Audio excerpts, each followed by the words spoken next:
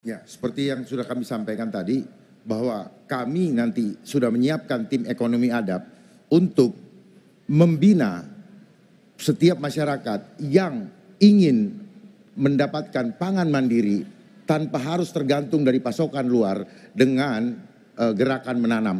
Di mana rooftop-rooftop bisa kita pakai dan halaman-halaman di sekitarnya bahkan cukup dengan dengan uh, plastik pun mereka bisa menyiapkan dan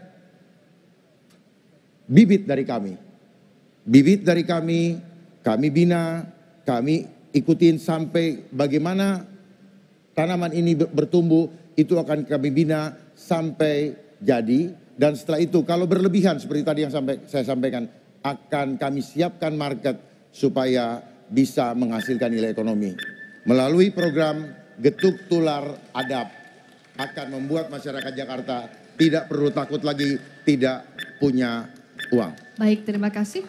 Ini bagaimana uh, Dharma Kun dan pasangannya mewujudkan pertanian yang ada di lingkungan Jakarta yang saat ini kan minim wilayah untuk bisa ditanami pertanian.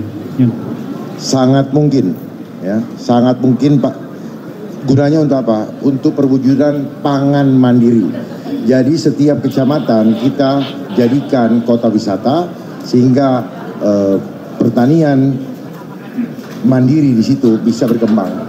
Kami akan menyiapkan tim ekonomi adat dari yang terdiri dari guru-guru honorer dan juga ahli di bidang pertanian yang akan mengajarkan kepada rakyat untuk membina rakyat dan sekaligus memberikan apa? Memberikan bibitnya.